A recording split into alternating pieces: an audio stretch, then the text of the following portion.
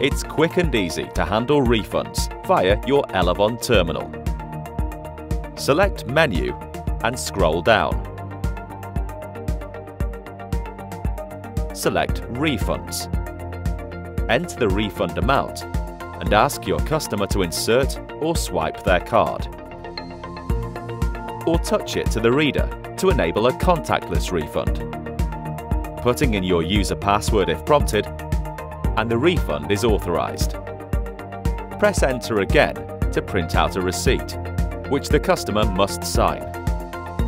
Don't lose this signed receipt. It's important for your records or any dispute.